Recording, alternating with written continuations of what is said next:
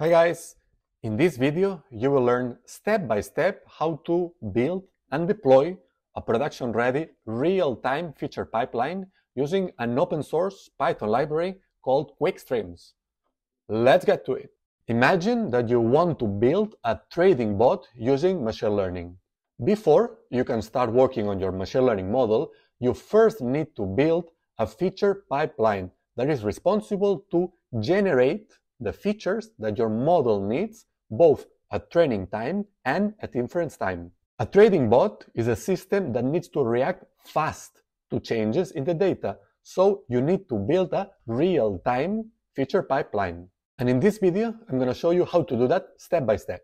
Any real-time feature pipeline is made of at least three steps. First step, ingestion. We need to connect to an external service that provides raw data in real time. For example, the Kraken WebSocket API that provides raw trades in real time. Second step, transformation. These raw trades per se are not useful to build machine learning models. We need to transform them into features. In this case, we're going to bucket trades in 10 seconds interval and we're going to generate the so-called candles. From this, you can derive trading indicators that are useful to build machine learning models. And the third step is to save these features somewhere from where your models can later pick them. This somewhere is usually a feature store. In a real world setting, each of these steps is implemented as a separate service, and the communication between these services happens through a message bus like Apache Kafka. This way, you make your system production ready. You can spin up more containers as you need to scale each of the services, and you leverage consumer groups in Kafka, which offer you a scalable way to consume messages. And this is all great, but how do you implement this in practice? We will use Quix Streams, which is a cloud-native library for processing data in Kafka using Python. With Quix Streams, you get the best from both worlds. You get low-level scalability and resilience of Kafka, plus the easy-to-use Python interface. Let's go through an example that I prepared. So here is the repository that I prepared. It's public, it's on my GitHub, so you feel free to go there, uh, git clone the code and run it locally. This is something that I already did, obviously, so I'm just gonna, with Visual Studio Code, open it. This is the README file. So to run this whole thing locally, you just need to insert the necessary credentials in this .env file. In this case, you just need a couple of credentials to be able to save data to the feature store that we're using. And then you can run everything locally. So you need to build the containers because each of the services is containerized using Docker. And then you can spin up all of them plus a local Kafka message broker. So you can develop and test everything locally. Later, when you're happy, you can deploy to production. But the thing is, we're using Quix Streams, so everything is from day one production ready. So here on the left, you will see that we have four folders. Each of the folder corresponds to each of the services that we built. Three of them are pipeline steps, which are trade producer, the first one. The second one is trade to OHLC, which transforms raw trades into the features that we need. And then the third step is the OHLC to feature store, which saves these features to the external service, which is a feature store. And then finally, I created this standalone service, which is a containerized Streamlit app, which helps us visualize in real time the final features. So feel free to go into the code. In this video, I'm just going to cover the transformation step. So I'm going to enter this trade to OHLC. Inside each of the folders, you will find the Python logic. So in this case, how to transform raw trades into features using Quix Streams. And then you will find extra files like Docker files to containerize your service so we can deploy it easily, both locally or to a Kubernetes-like environment, for example, the Quix Cloud. So if you go to this trade to OHLC, you will see that we're calling this main.py file. This is just a wrapper, which essentially calling this source.main.run file, which is here. Perfect. So this is the function that performs the transformation using Quix Streams. So the first step is to generate a so-called app, a Quix app. This is just a useful object that handles for you all the low-level communication with Kafka. So this is completely general. You can use it whenever you have Kafka. So whenever you have Kafka and you want to create stream processing using Python, you can just create a Quix app like this. In this case, I created a wrapper to handle a little bit differently the case where we run it locally or we deploy to the cloud. So once we have created an app, we need to indicate what is the input topic. So from where are we reading the data? And then the output topic, which is where are we saving the data? In this case, we have two environment variables that we define, which are Kafka input topic and Kafka output topic.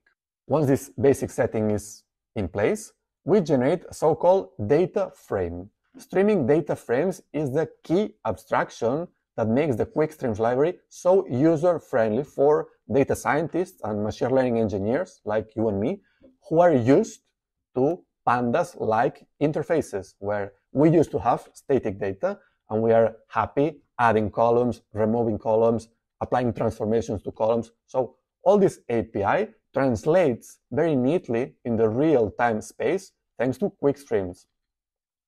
So here I attach a streaming data frame to my app and then I start creating the logic. In this case, I'm using one of the hottest features, which are stateful window operators. In this case, we want to transform a stream of raw trades into OHLC features. So we first need to bucket these trades into 10 seconds intervals. And then once we have them bucket, we want to apply transformations. In this case, we want to apply max, min, open, and close. These are the four numbers. And you can see in the syntax is extremely easy. First, we indicate that we want to use a tumbling window. We want to use 10 seconds to bucket. And then we need to indicate how we apply this transformation, how we do the reducing. So we need to provide two functions. First, the initializer. So we basically extract the fields that we need from the value, in this case, prices and the product ID. And then the key one is the reduce price, which basically tells Quix Stream how to compute the next value given the latest value, so the latest trade that has entered, plus the state, which means the computation we have made so far. So for example, if you're computing a maximum and a new trade enters, how do you compute the new maximum? Well, it's easy. You take the maximum between the state, so what was the old maximum, and the new trade. And this is how you generate a new value. So this way, stateful stream processing becomes pure Python. So once I've defined the tumbling windows, I want to extract. So I do a little bit of post-processing to generate a final message that has the nice format for me. And this is what I'm doing right here. I'm also adding the product ID and the timestamp. Then I'm selecting columns. See how easy it is to select columns. It's like pandas, but it's not. And then finally, we're serializing to the output topic. Now this is all cool, but do you want to see it in action? Let's run it locally. So I'm gonna head down here to the terminal. I'm gonna check I'm on the right directory, and then I'm just gonna run make start. And you will see that Docker Compose is gonna spin up set of containers. The Docker Compose that we're running is right here and contains basically a local version of Kafka, so we can run Kafka locally. And then each of the services, so the trade producer, trade to OHLC, the OHLC to feature store, and also the Streamlit dashboard. So this thing is running. I'm just going to go to my Docker and I see all the services right here. You can, for example, check that the service is working. So you open the logs and you see that exactly this thing is working. Super. And you can also check the Streamlit app. So you go to localhost, localhost port number 80, and you can see it right here in action. Super.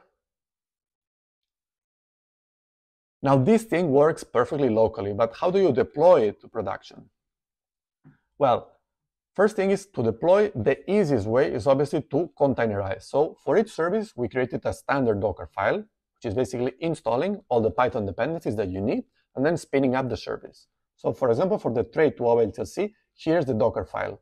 You see it's extremely simple. So to deploy this, you have two options. You can deploy to your own Kubernetes cluster if you have a team managing it and you have running all your microservices there. Or there's an even easier way, which is using the Quix Cloud platform.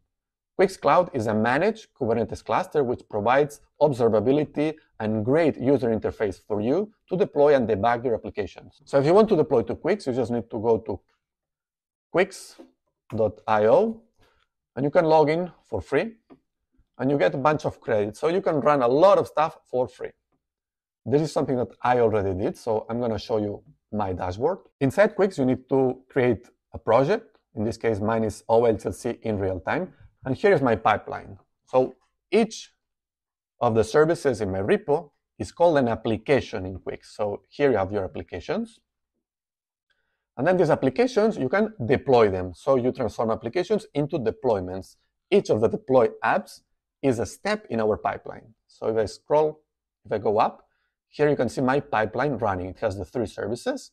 And then here I have two dashboards. This is the same Streamlit app with two different versions, but is the dashboard that I showed you before locally.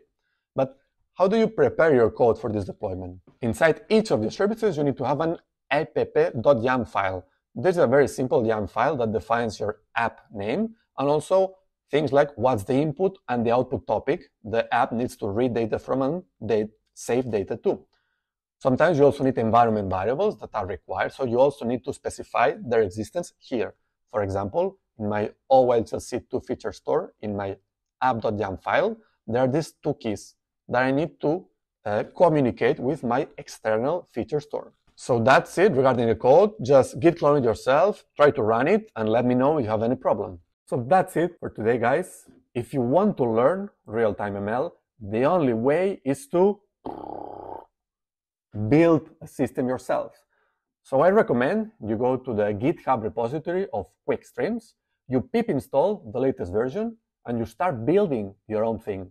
And if you want to get more hands-on videos about ML ops and real-time ML like this, subscribe for free to this YouTube channel. Bye guys.